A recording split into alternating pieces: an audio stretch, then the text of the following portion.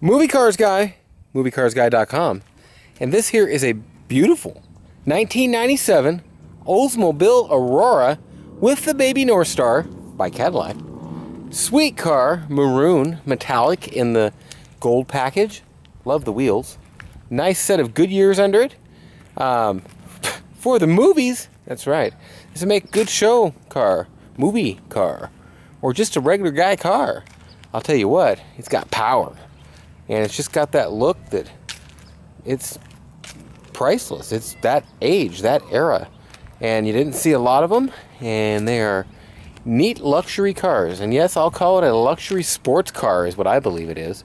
But I think it should be in a movie. It just screams that certain character, that certain person. You know, I don't know what person. That's up to you. Might even be just you. I like to drive it around right now, actually. I've been driving it the past couple days, and it's a very good driver.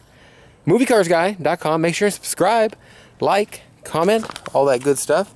Check my other channel, Cereal Marshmallows. I'll do the full walk around, show you the inside and all that stuff. Import, export, I'll ship it to any port in the world, you name it.